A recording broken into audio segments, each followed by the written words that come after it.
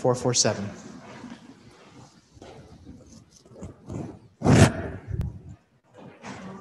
Holy Ghost, Creator blessed, and in our hearts take up thy rest.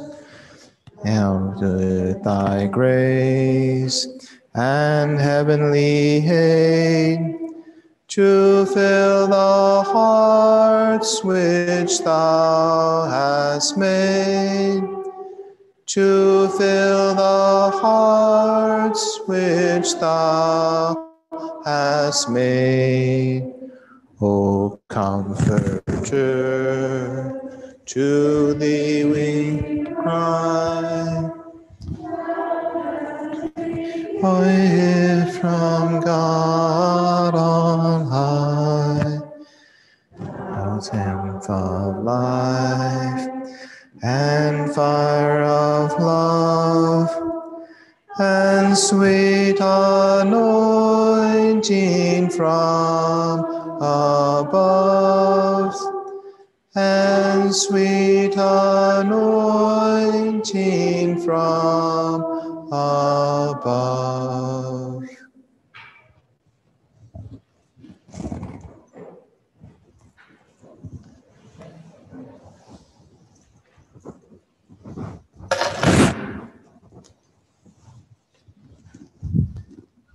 Do you have any readers? Do we have any readers? You want to come come read? Okay, that'll be great. I'll, I'll let you know in just a second. So right there, we'll start mass.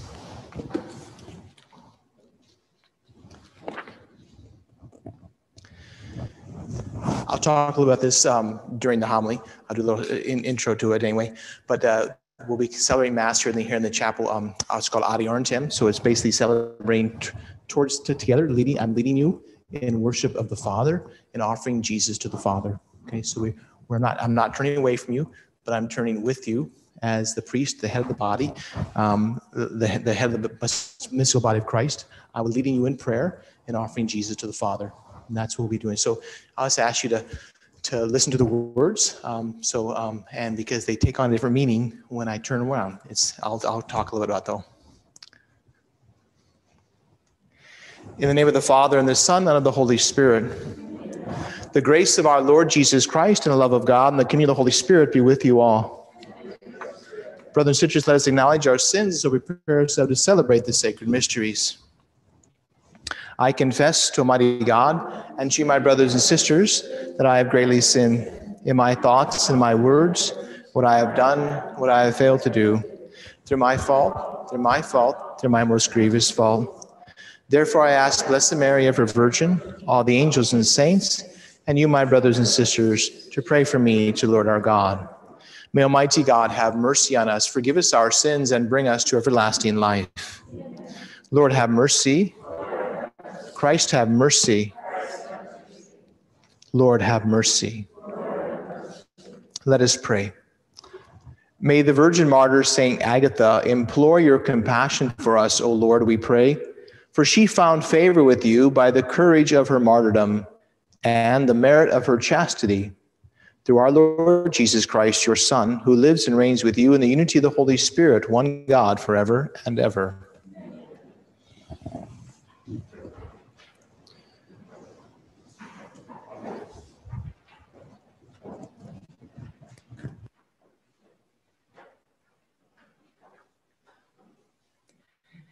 A reading from the letter to the Hebrews. Let brotherly love continue. Do not neglect hospitality, for through it some have unknowingly entertained angels. Be mindful of prisoners as if sharing their imprisonment, and of the ill treated as of yourselves, for you also are in the body. Let marriage be honored among all, and the marriage bed be kept undefiled for God will judge the immoral and adulterers. Let your life be free from love of money, but be content with what you have. For he has said, I will never forsake you or abandon you. Thus we may say with confidence, The Lord is my helper, and I will not be afraid. What can anyone do to me? Remember your leaders who spoke the word of God to you. Consider the outcome of their way of life and imitate their faith. Jesus Christ is the same yesterday, today, and forever. The word of the Lord. Thanks be to God. The Lord is my light and my salvation. The Lord is my light and my salvation. The Lord is my light and my salvation. Whom should I fear? The Lord is my life's refuge. Of whom should I be afraid? The Lord is my light and my salvation. Though an army encamp against me, my heart will not fear. Though war be waged upon me, even then will I trust. The Lord is my light and my salvation. For he will hide me in his abode in the day of trouble. He will conceal me in the shelter of his tent. He will set me high upon a rock. The Lord is my light and my salvation. Your presence, O Lord, I seek. Hide not your face from me. Do not in anger repel your servant. You are my helper. Cast me not off. The Lord is my, my.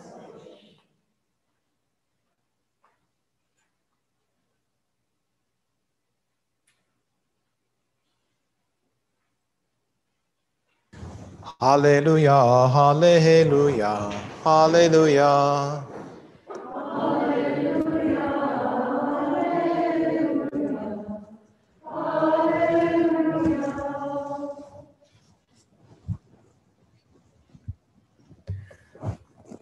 Blessed are they who have kept the word with a generous heart and yield a harvest through perseverance.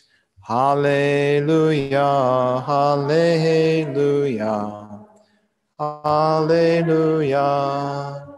The Lord be with you. A reading from the Holy Gospel according to Mark. King Herod heard about Jesus, for his fame had become widespread, and people were saying, John the Baptist has been raised from the dead. That is why mighty powers are at work in him.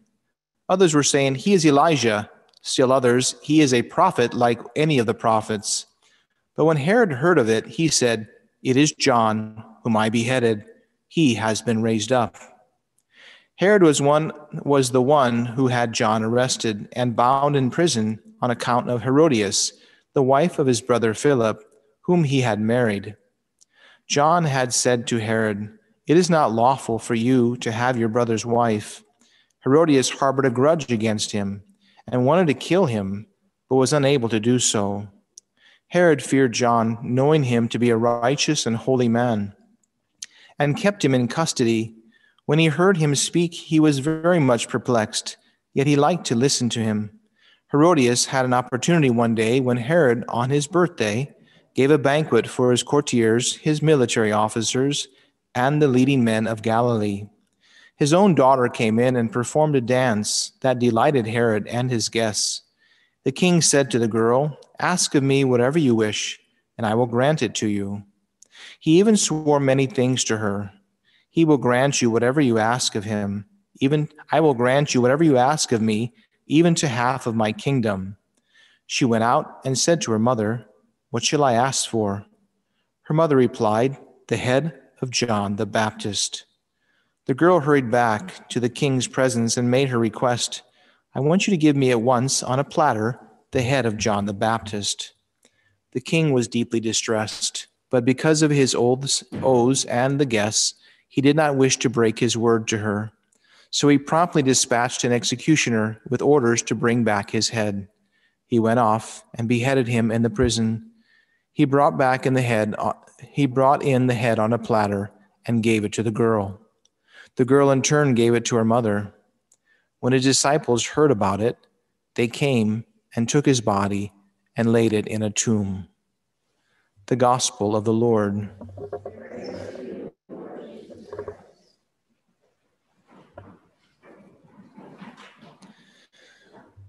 First, the good news and the bad news. The good news is you're here. We've begun. We're, it's all working. It's going. You made it in before the blizzard. That's the really good news. Um, and so we don't have an open fireplace or anything, but we'll have the fire of the Holy Spirit, and that's a great thing to do. So we have a, we have a greater fire. Uh, the bad news is I talk really fast, and so I have to apologize for that up front. Um, I'll try to slow down. I try to slow down, especially during mass. So if I do sound like I'm going slower here, that's because I'm really trying hard. Um, but that's that's uh, one of my weaknesses, I guess. Um, um, but it, it is a, a, real sense of, I guess, my joy also coming out that I, I want to share with you as much as I possibly can um, to give you as much as I can. But it does it is kind of hard to understand sometimes. So I will try. You can wait. I need a red flag or something. We'll talk about that. You'll hear about that in one of the one of the uh, t- one of the, um, um, the the recordings we'll have during meals. Um, during meals, there will be recordings, and that'll be um, one will be the first one. DVD will be Neil Lozano himself, kind of giving a quick summary of all the five keys. So you kind of hear from the master, and so the so the meals will be silent in that way, um, which you can kind of listen. So it's kind of like the retreat just kind of the retreat just kind of keeps going. Um, it never stops. Um, I gave you a couple handouts. One we'll use, the other one is called silence, and silence is a big part of a retreat here also, um, because God speaks in the silence. You know, uh, we know on Mount Horeb when Moses, when, when uh, the prophet Elijah was was there. He says he was, it wasn't in the crushing wind or the fire or the rocks or the earthquake, but it was in the still small voice. And sometimes silence is needed for that. So you've got a beautiful um, little a little article um, writings from Mother Teresa about silence and the power of silence. Um, so that's something to, to not be afraid of, um, but it is something that can allows God to speak, allows the Holy Spirit to to reveal our hearts to us. Um, so that's the, the the other bad news is that um, because the homily, because this is um, I got to ask a question first. Um, is anybody not Catholic? I just want to be respectful in that sense to, to maybe explain little things a little different way. Okay, so it looks like nobody's hand raised up, so thank you. Now, the bad news is is that the because this is like a really Catholic retreat, um, in addition to an Unbound conference, to, kind of woven together. There's a lot of Catholic stuff in here. Um, we're going to pray the Rosary. We're going to probably do liturgy of the hours in the morning and evening, and, and tonight and night prayer. And I'll explain that to you if you've never been exposed to that before.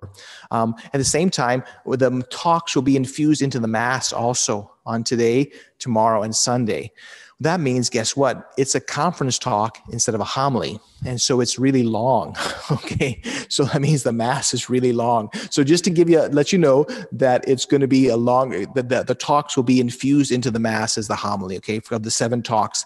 Um, so in order to have the masses we we put that inside of them okay and so there's where we start. Um, so I start a little bit. I said I'd talk about just to mention, introduce to you just in very simple ways um, the idea of offering mass this way. Has has anybody never been to a mass like this before? If raise your hand, if you've never been to a mass like this.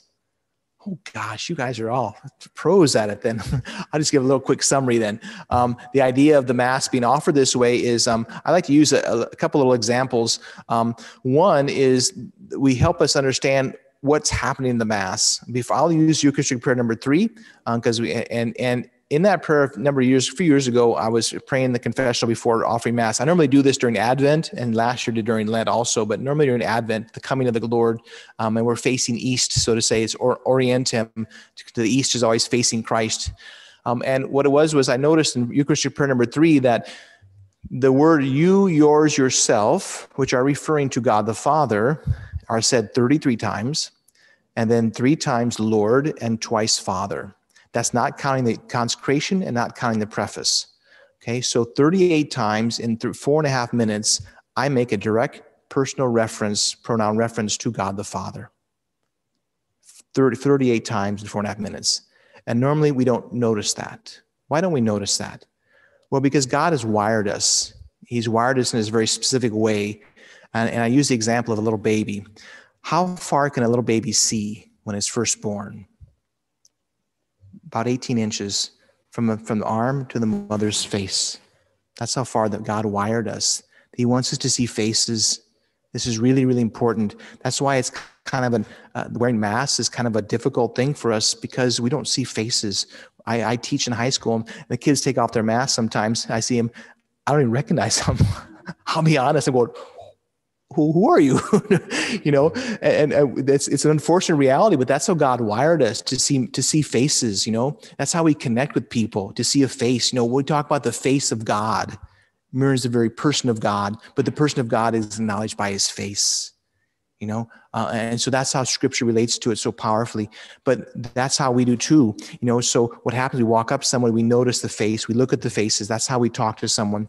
So we're wired that way. So when i point when i talk to you this way and i say you yours yourself you yours yourself 33 times it's hard for our brain not to think somehow, even though we know it's not, referring to me. It's just we're wired that way. You know, we're wired that way. We can't stop it. And so it's called cognitive dissonance, where we have to have two things in our mind that are opposites at the same time that you're talking to me, but you're not talking to me. Okay. As a priest, I have to do that every single mass.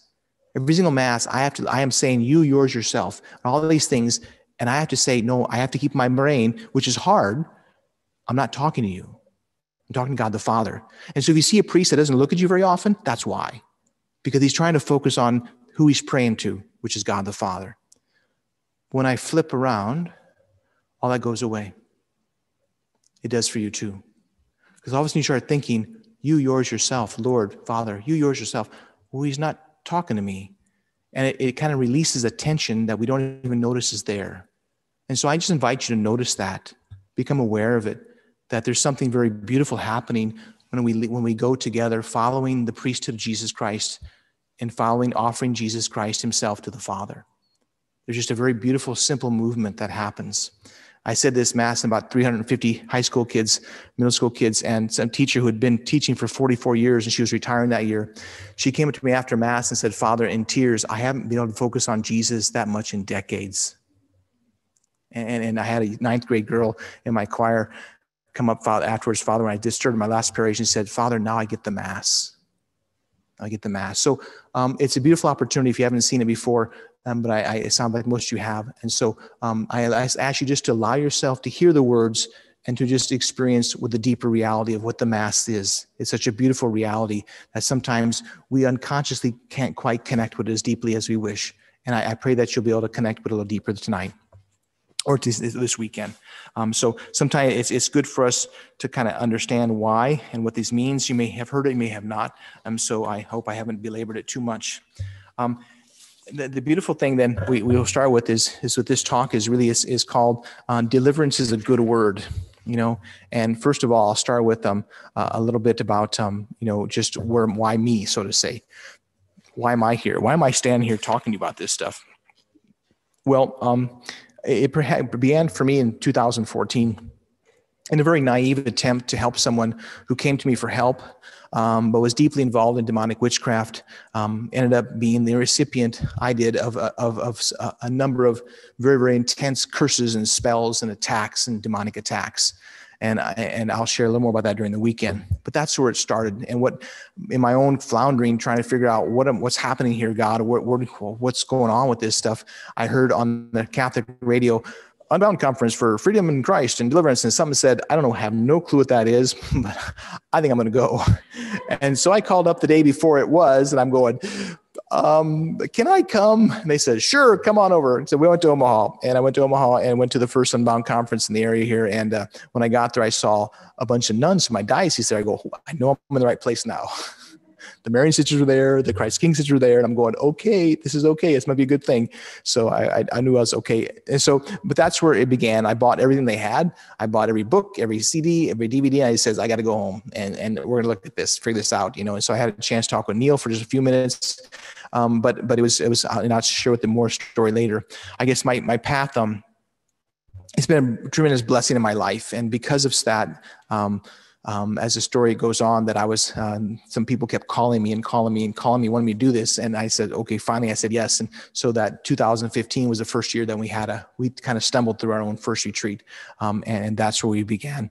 And so that's what we've been doing um, every year for the last um, six years then.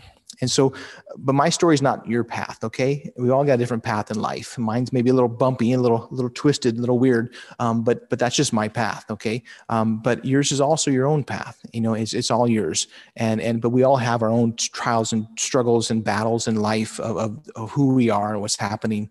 You know, I think we can see that in, in a very interesting way is in our in our gospel. You know, um, you know, there's a lot of bad stuff going on here. You know, there is grudge. That means there's hatred. There's vengeance. There's um, there's there's you know condemnation. There's all these different stuff working on on Herodias, and then working on her daughter, and then then there's murder. Um, there's a lot of bad stuff there. You know, a lot of bad stuff wrapping around. John the Baptist becomes a martyr for marriage. You know, if we think about that, for the great dignity of marriage. John the Baptist. I don't think people even talked about that before, but I like to say it that way. I think John the Baptist was a martyr for marriage. You know what? because he stood up for what the truth and goodness and holiness of marriage. And, he spoke the truth, which is the opposite of the lie. You know, the enemy is always a liar. So when we renounce things, as you probably read in Neil's book, we renounce the spirit or the lies, you know, and so there was a lie going on there, a lot of them that Herod held on to, Herodias held on to, and that was going on there, you know, and but John the Baptist spoke the truth. And as we know, Jesus said, the truth will set you free. You know, as Catholics, we or I like to kind of say that, you know, I'm kind of like a, if you've ever been on a tour bus, you know, you have the tour director up front who he kind of just talks about things as you go past him because hopefully you'll be interested and go see more later, you know, whether it be in Rome or anyplace else. I'm kind of like that. I'm going to talk about the different things and hopefully that'll help you kind of go deeper in yourself, uh, deeper in your own prayer, deeper in your own conversation with our Lord, deeper in your own study also is about some of these different things help you understand it and relate to it. You know, in a big way, that deliverance is kind of the word before Catholics is kind of a bad name, bad word. We don't, we're kind of scared of it. We don't understand it. It's kind of a foreign thing to us. We don't really talk about deliverance or deliverance prayer or things like that. You know, um, I, I, like to think of it kind of coming off Christmas. You know, um, think of that word as a little bit different. Deliver. Um, you know, that's a good word, really, because it is. What happens when UPS comes up? Or the Amazon truck comes up or FedEx truck. They deliver something it's good stuff. Okay. It's good stuff. But also, if it doesn't fit or if it doesn't work, guess what? They take away the bad stuff too. the delivery truck takes the bad stuff away. And so we can see also in a very similar way that this is part of deliverance, you know, um, being delivered from, from something bad into something good, you know, that they deliver something good and we're set free from the bad. We give it to the truck, we give it to the UPS man, and he takes it away. It's a great way to work. Um, um, and it's not very difficult. And neither is what we're dealing with here. As Catholics, we we see maybe in movies and we kind of see scary things in movies, and that's that's not what it's all about. Um, it's something very very different, very beautiful. What God has been doing, it's really a big part of our life, and we already even have it. You know, it's really taking hold of the freedom, deliverances of that God has given you in His kingdom. You know, it's taking hold of the freedom that you already have um, and may not be aware of it. You know, Neil shares a story, a beautiful story of, um, of a young Rwandan woman um, who the enemy had had really what the enemy had stolen from her. Um, you know, it was during the time when the uh, um, the, the persecution and, and, the, and the, the many many people were murdered there. Um, but she hid in a forest and she returned still in fear. Um, you know, all her family, I believe, was had been had been probably massacred. You know, and she was in college at this time. And and one thing was happening is that she had this, she held on this lies, this this incredible lie that she didn't want to even look at herself. You know, um, that she was ugly. Uh, and and and this this but who knows what else is all behind it what had happened to her you know we don't we can't even imagine probably but she all she had was a little tiny sliver of a mirror and so when she would she would she would be maybe taking putting on uh, her makeup or hair or something she just look at one little piece of her face. That's all she ever looked at. And this was she was in college already. You know this happened when she was many years younger. You know she avoided the mirror. At, at the end of the hallway is this great big mirror and she never looked at it when she walked past the hallway. Uh, never looked. You know and deliverance is really a freedom to see ourselves as god sees us as god sees us you know, one day she, um, after the Unbound conference, um, she had gone, she had been experienced that, that new freedom, and she walked into the hallway and she just stood there and looked at herself for the first time. And she went just aghast and she says, I'm beautiful. You know, she, for the first time in her life, she began to see herself really as God sees her. And that's deliverance. Deliverance is really in that, in that to begin seeing ourselves the way God sees us. You know, it's being set free from the bondage of believing a lie to see ourselves in the really as as Christ, God sees us in Christ, that we are free, that we are beautiful. it's a good word, deliverance is. the trials of our life kind of show us our hearts. You know, um, you've probably had many things happen this this week coming here. You probably had struggles and trials and different kinds, and probably thought about not even coming. You know, it's very possible. It happens to many to many different people, or maybe just a grace filled week that just go, wow, it's like going down the slide. You know, just like floated right in You know, it, it can be either way. You know, it, it happens both ways. Um, but but it also is that reality. Those struggles and trials sometimes show us what's really that the enemy doesn't want you to come to get this freedom. You know, that's one thing for sure. Um, but also that it can show what's in our heart. You know, that there's a lot of stuff in our own hearts, and sometimes that struggle and trial, even to get here, reveals that to us also. we think about God and His goodness and His desire to save and heal us. You know, deliverance is moving into a new kingdom. You know, um, at baptism, you moved into the kingdom of God. You became a member of his, his family, you know, and so you had the rights of his kingdom. You know, that's what happened at baptism. You became a child of God. That means you're part of the kingdom of God. You have the rights of his kingdom, which is freedom, which is light and truth and, and peace and happiness. You know, these became your rightful inheritance. It's moving out of something into something, you know, moving from a place of believing a lie and seeing yourself the way to we see where the God sees us, you know. Uh, it's moving to a better place, um, a safer place, a safer place. You know, uh, I remember a person who shared with me one time, they spoke with a counselor, and the counselor brought up the word um, safe, just kind of said it in a, in a, in a conversation, and they began to literally weep. They had no idea why. They said the counselor said it again, and all of a sudden they just they said the word safety or safe or something, and they just literally began to they couldn't control it, and, and it was a sign of the great trauma in their life. That just hearing the word safe and safety really brought them to tears, you know. And this is what where deliverance is needed. You know, we don't even realize sometimes how much pain and how much stress and how much burden we carry in our lives that God wants to set us free from. And so, you know, the reality of not seeing ourselves um, uh, the way that God sees us, you know, but deliverance is something very deep in sacred scripture. You know, it's part of Israel's history, it's part of our identity, it's part of our history. You know, the Israelites were slaves, yet they understood their identity as God's children and they expected Him to save them and, and to take care of them. They were, they waited for 400 years in Egypt to be set free. You know, um, it's really it's a powerful moment because they were set free, set free from slavery from Egypt before God ever gave them the commandments. Never noticed that. You know, last time I gave this talk, I was looking at this. I'm going, wow. You know what? They were set free before their God even told them what to do and how to live. There's God's goodness. We need to be set free sometime so that we can live the way God wants us to live. The freedom comes first you know, and we're struggling maybe to live that way or to set be, and because we, we're still bound up, we're still slaves in a sense. You know, God delivers his people to that freedom. Exodus chapter 13, verse 8 to 10 says, On that day you will explain to your son, This is because of what the Lord did for me when I came out of Egypt. It will be like a sign on your hand and a reminder on your forehead, so that the teaching of the Lord will be on your lips with a strong right hand. And the Lord brought you out of Egypt you will keep this statute as an appointed time from year to year. So that was when God told him to, to have the Passover meal. And he says, Well, what, what will the children say? He said, This is what you tell them because this is what God has done. He's set us free. You know, it's Jesus' history as a Jew, you know, and it's, and it's something part of our story too. We are delivered from darkness to light. You know, Isaiah chapter 60 says, Through darkness covers the earth and thick clouds the peoples. Upon you the Lord will dawn, and over you his glory will be seen. You know, First John uh, chapter 5 verse 19 the idea of satan's kingdom is being taken away for god's kingdom. You know in that, in that verse john writes we know that we belong to god and the whole world is under the power of the evil one. You know what I, what I like really like is is uh, acts 26 verse 18 and this is the story of paul's conversion you know and and paul speaks about what god tells him um, and god tells him something very profound you know, verse starting at verse 16, but rise, God says to Paul, but rise and stand upon your feet, for I have appeared to you for this purpose.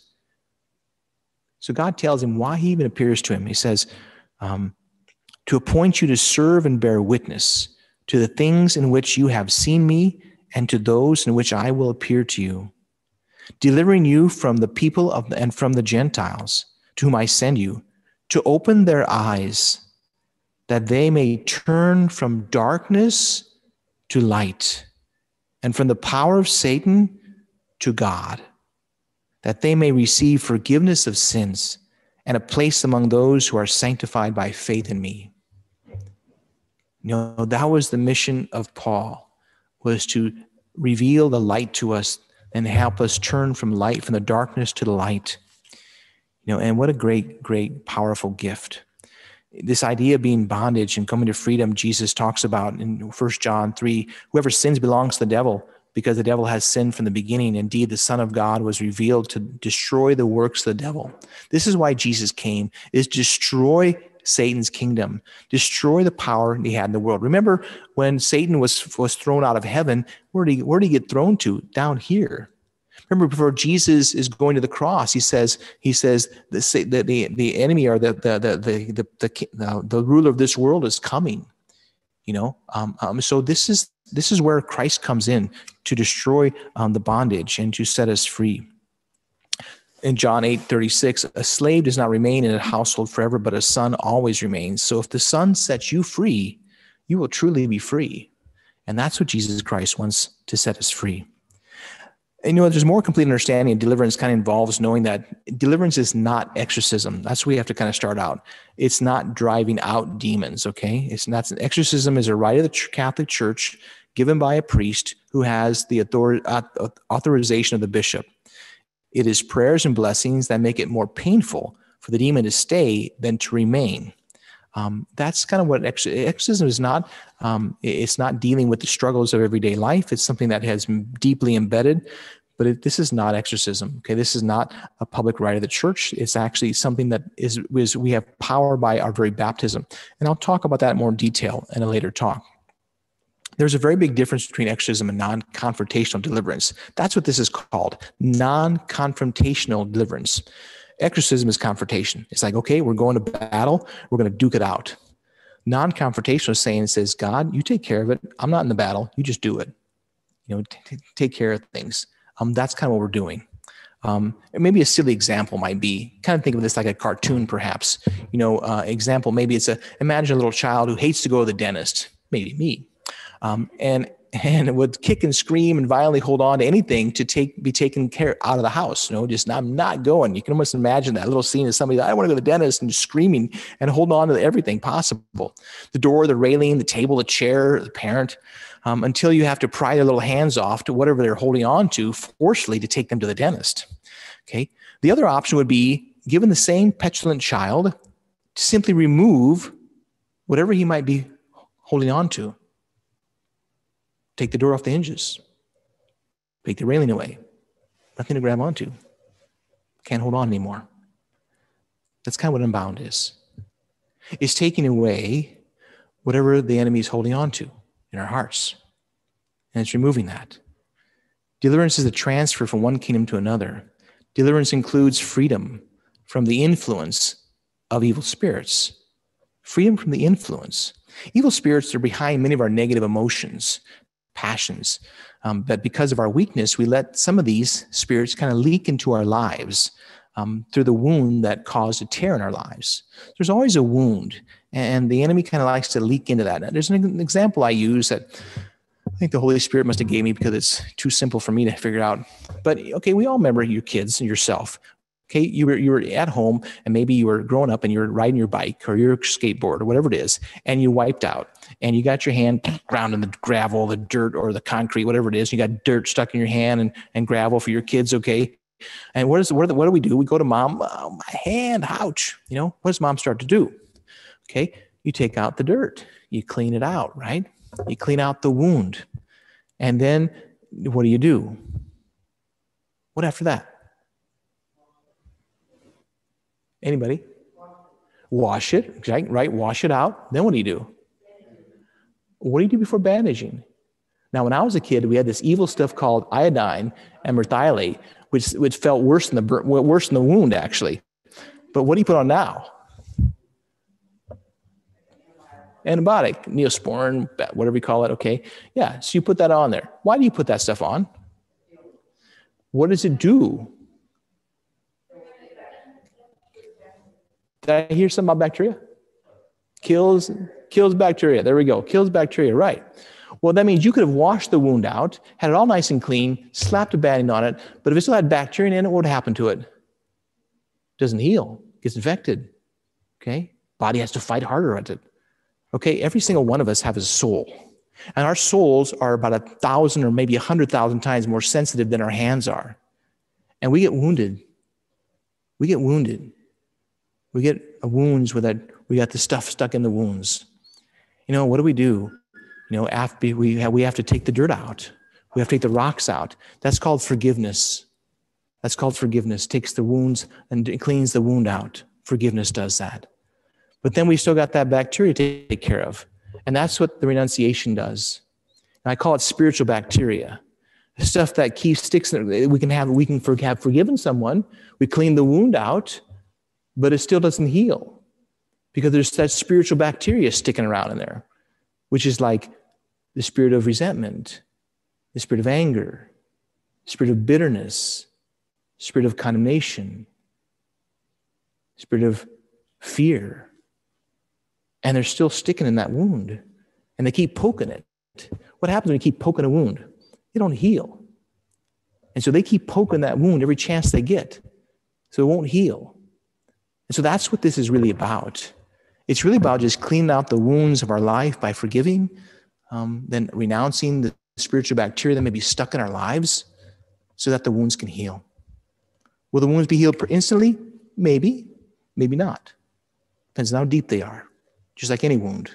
But that's really what's happening with this. That's really what's going on. Um, it's just a little analogy that I think for me helps understand and explain a little more about what this is all about. You know, um, there's different kinds of uh, kind of uh, for example, a hurt or wound can make us angry. You know, there's righteous anger unrighteous anger. You know, um, um, but a number of emotions can be connected and they kind of grow. You know, bitterness, resentment, revenge, hatred, condemnation, self pity. You know, all these things.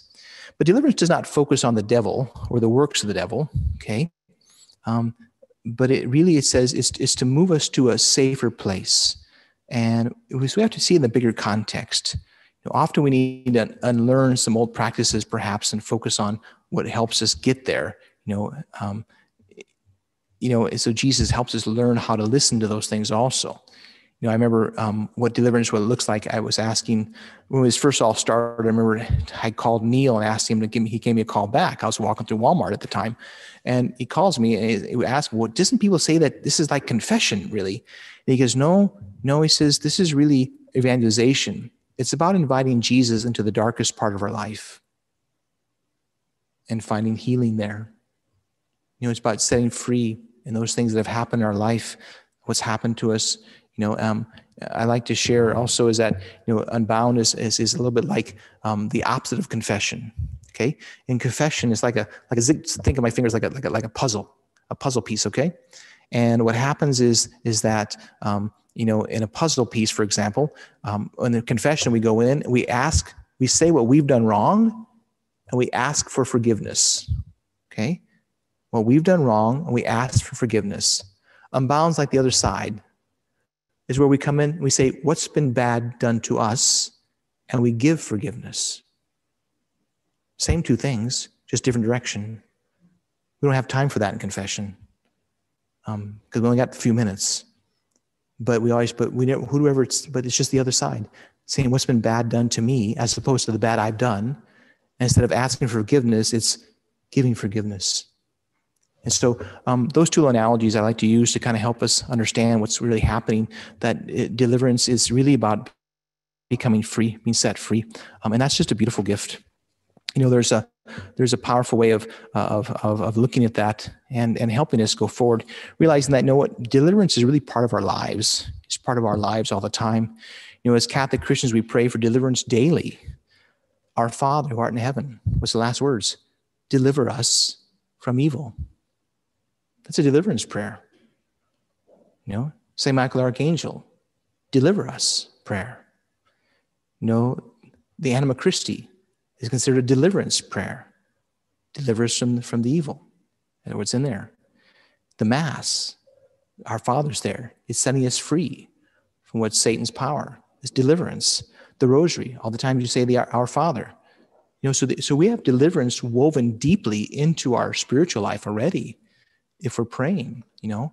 And that's the, that's the beauty of we, we don't even realize how much incredible things are going on in our just average Catholic life you know, just the sacraments and our prayers, um, we've got so much. We're just we're like we're like loaded already. We've got so much happening. You know, you know. And when Neal went to Kenya to train some leaders there, you know, he uh, um, they were shocked because he says, I mean, "We don't have to jump up and down, scream and holler."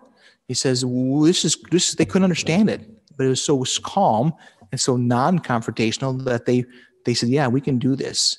Um, because when they had deliverance before, it was just it was really a ruckus, you know. Um, but this was something profoundly different and profoundly powerful because it's so incorporated, so deeply woven into just Jesus, what He does. You know, um, they were all visibly relieved because they had the five keys, the power that they had to set people free deliverance is, is, is in the name of Jesus Christ because only Jesus really can do this. You know, um, after my time with the, I, I, went to see a priest I'd met on a 30 day retreat named Monsignor John Esseff. He's one of the more renowned uh, exorcists in the country. He'd been a spiritual director for Mother Teresa for a while. Um, and he, and, he, and he's a pretty pretty straight to the point kind of guy, you know. And uh, I, he says you try to help, kindness, you know, practicing powerful prayer, but there's big problems. He's, he says I was ignorant, well-meaning, but very naive. You know, he said bluntly, You can do nothing for yourself or anybody else. That's what he told me. After I've been trying to help this person who ended up cursing me, you can do nothing by yourself um, or anybody else. Only Jesus can. He's the only one who can do this stuff. Only He can. It's not me, it's not the people on your team that prays with you. Only Jesus can. Only Jesus can heal you. Only Jesus can set you free. Only Jesus can protect me. Only Jesus can show me the way. You know, only He can. You know, and I'll be, this is just my own opinion, but I think this whole COVID thing um, maybe has, you have to always see God bring good out of evil. What's the good He's trying to bring out of this whole thing? You know, just because we didn't go to church, does that mean Jesus left us? No he was even closer than they ever realized. Maybe that's what he was trying to get us to do, is just recognize that we have to focus on him, that he's the one we have to be focused on, even if we can't go to church, even if we can't receive the sacraments, that Jesus Christ is God. He is our Savior. He is the one who says, I'll be with you always, even to the end of the world. And count on that and lean into that. Maybe that's what he was trying to get us to do to realize that He is with us always and that we can count on Him always, that He will never leave us ever. Maybe that's what He was inviting us to do in a bigger way. And maybe we have. I, I think many people have. I shared with a person one time, um, uh, my bookkeeper, I think it was, I says, you know, I think people, I think God just wants us to rec- recognize um, our hunger for Him. And she started weeping.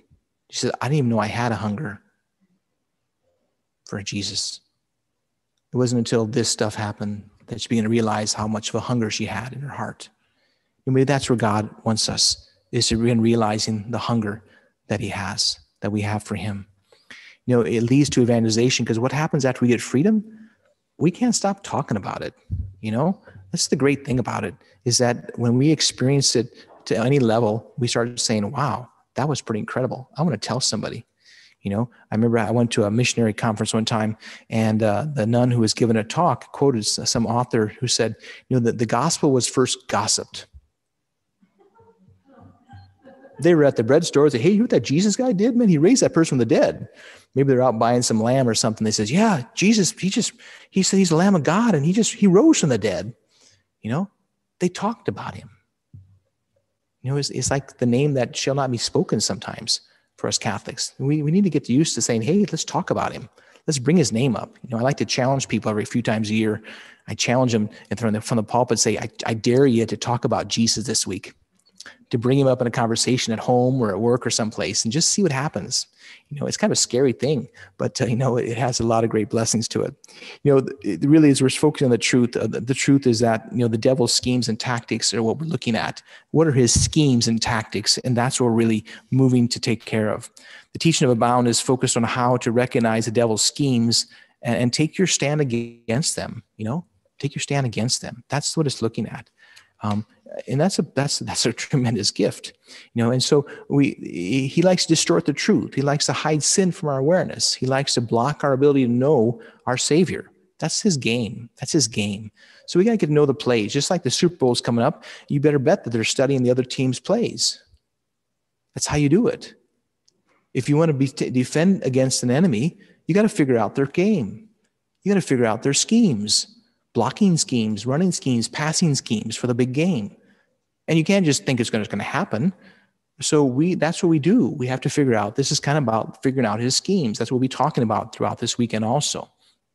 You know, so the prayer basically targets the enemy's strategies and we so we focus on them, saying this is where the enemy's working. And so this is where we're gonna we're gonna stand fast. And so it, it's um um, we don't focus on the devil or confronting him at all. You know, it's really about just um, those those those schemes that he has that we're going to try and ask Jesus to block. We're going to put him in the center.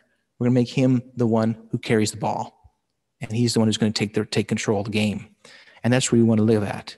Um, and, but it also involves doing our part. You know, God wants us to decide for it. Do we really want to be free? You know, that's the question we have to ask ourselves. Do we really want to be free? Because sometimes we like our stuff. We've had it for so long. We maybe lived with it for all our life, perhaps, and we can't find it hard to get rid of. First thing to decide is that you want to be free. We need His grace to surrender to Him. So we can beg Him, Jesus, give me the grace to desire freedom.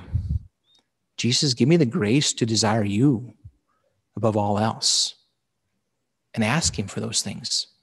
Ask Him for those things you know, on your sheet there, there is uh, there is the prayer, little prayer of um, the uh, um, only Jesus can. I'm going to say a little closing prayer here. Then we're going to use that for our offertory prayer or for our intercession prayers. Lord, I want to be free. Okay, this is kind of how we want to pray. Lord, I want to be free. I give you my whole life. I surrender it all to you. I want you to be the Lord of my life. I don't want to hold on to my small bondages or my big ones. I want to give them to you. Help me, Lord. Help me, Jesus. Let my heart be pleasing to you. Amen.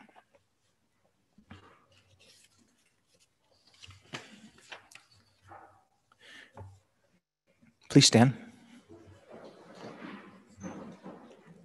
And you got the, the prayer only Jesus can. We're going to pray that now.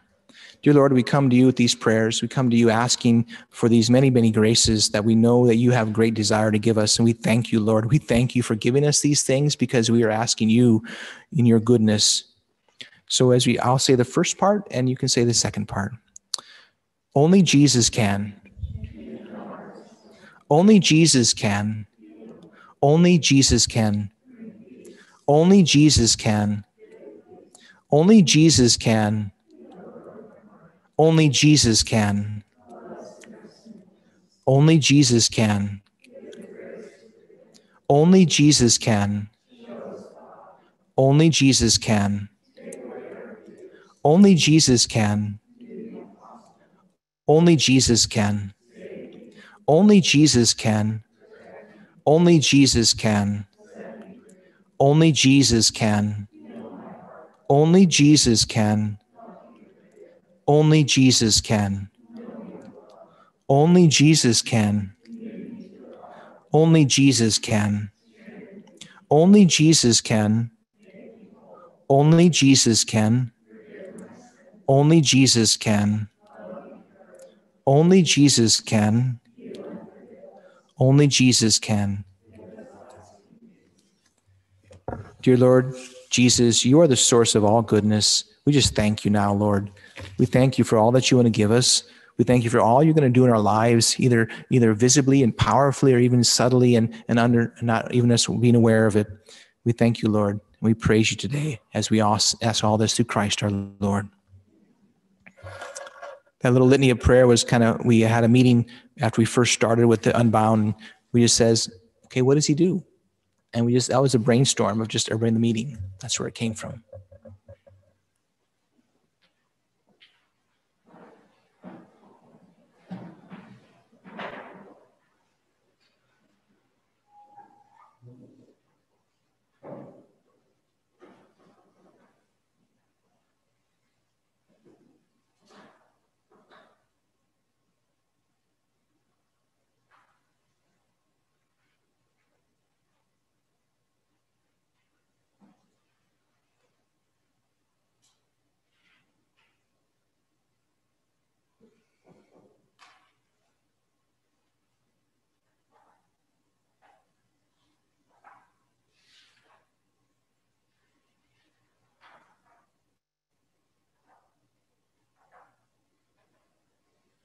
Blessed, blessed are you, Lord God of all creation, for through your goodness we have received the bread we offer you.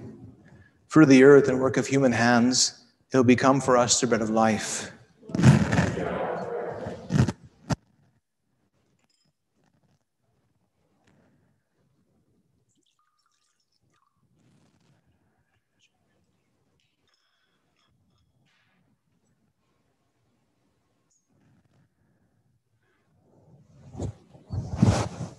Blessed are you, Lord God of all creation, for through your goodness we have received the wine we offer you. Fruit of the vine and work of human hands, it will become our spiritual drink.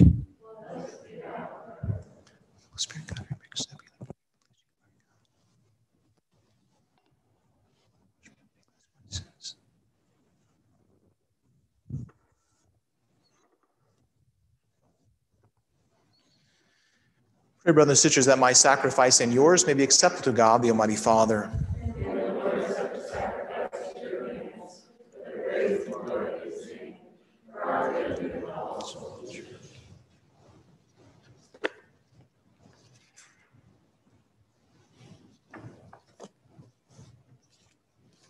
May the offerings we bring in celebration of Blessed St. Agatha win your gracious acceptance, O Lord, we pray, just as the struggle of her suffering and passion were pleasing to you through Christ our Lord. The Lord be with you. Lift up your hearts. Let us give thanks to the Lord our God.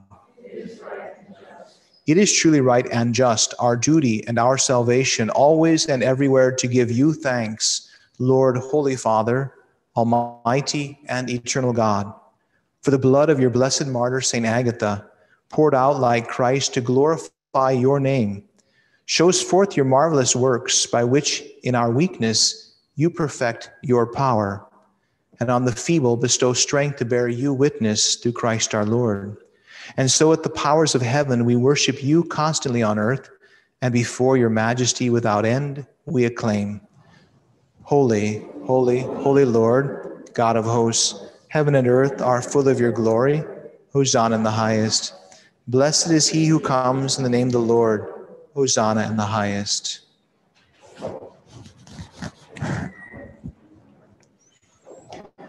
You are indeed holy, O Lord, and all you have created rightly gives you praise.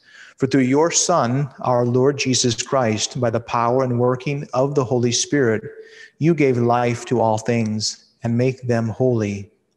And you never cease to gather a people to yourself, so that from the rising of the sun to its setting, a pure sacrifice may be offered to your name.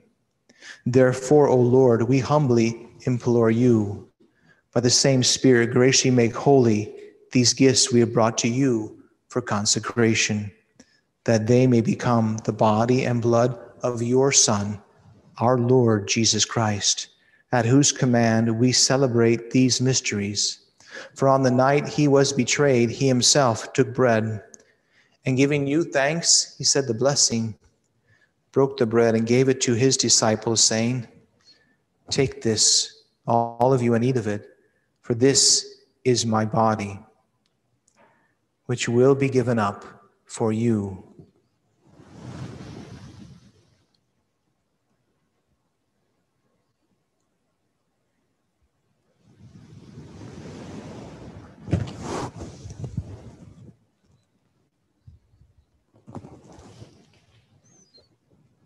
In a similar way, when supper was ended, he took the chalice, and giving you thanks, he said the blessing, and gave the chalice to his disciples, saying, Take this, all of you, and drink from it, for this is the chalice of my blood, the blood of the new and eternal covenant, which will be poured out for you and for many for the forgiveness of sins.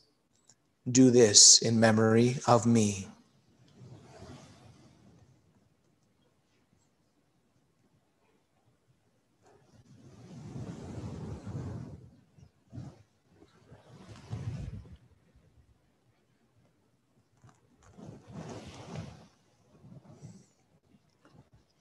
The mystery of faith.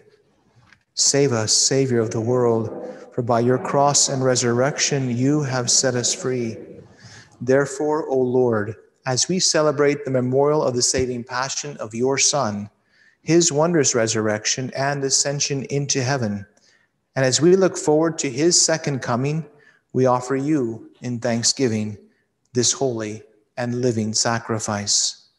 Look, we pray, upon the oblation of your church and recognizing the sacrificial victim by whose death you willed to reconcile us to yourself, so that we grant that we who are nourished by the body and blood of your Son and filled with his Holy Spirit may become one body, one spirit in Christ. May he make of us an eternal offering to you, so that we may obtain an inheritance with your elect, especially with the most blessed Virgin Mary, Mother of God with blessed Joseph, her spouse, with your blessed apostles and glorious martyrs, with Saint Agatha, and with all the saints, on whose constant intercession in your presence we rely for unfailing help. May this sacrifice of our reconciliation, we pray, O Lord, advance the peace and salvation of all the world. Be pleased to confirm in faith and charity your pilgrim church on earth, with your servant Francis, our Pope, and James, our Bishop the order of bishops, all the clergy, and the entire people you have gained for your own. Listen graciously to the prayers of this family, whom you have summoned before you. In your compassion, O merciful Father, gather to yourself all your children scattered throughout the world. To our departed brothers and sisters, and to all who were pleasing to you at their passing from this life Give kind admittance to your kingdom. There we hope to enjoy forever the fullness of your glory. Through Christ our Lord, through whom you bestow on the world all that is good.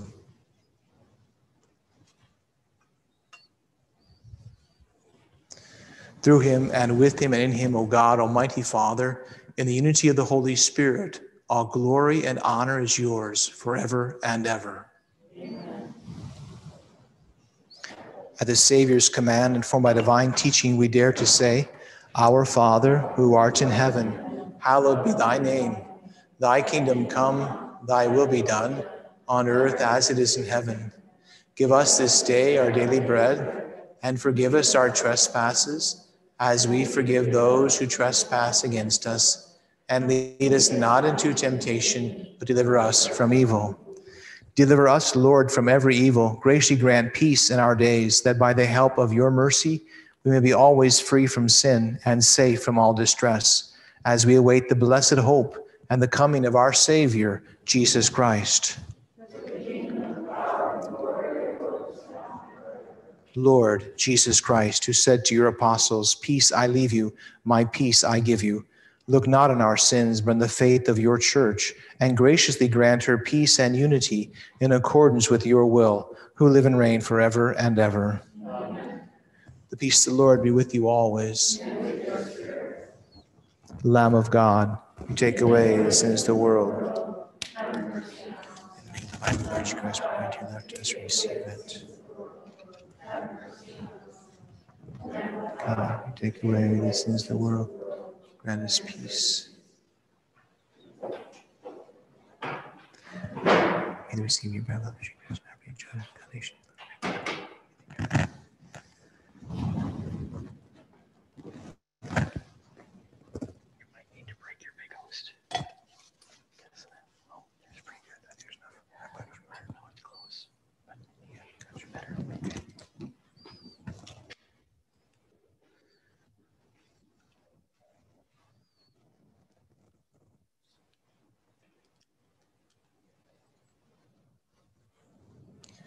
Behold the Lamb of God.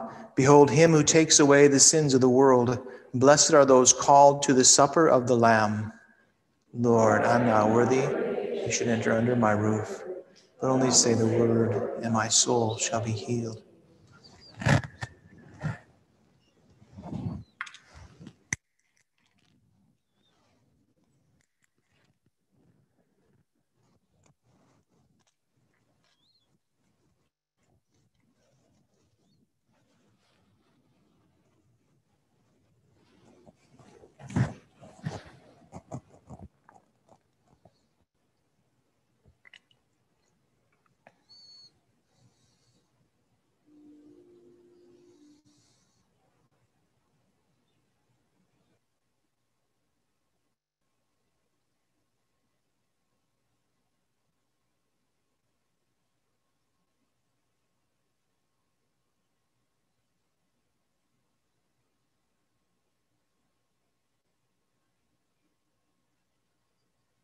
Let us pray.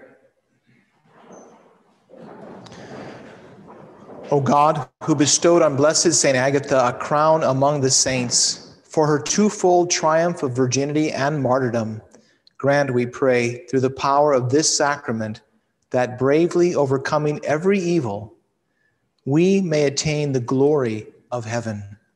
Through Christ our Lord. The Lord be with you. May Almighty God bless you, the Father, the Son, and the Holy Spirit. Go in peace, glorifying the Lord by your life.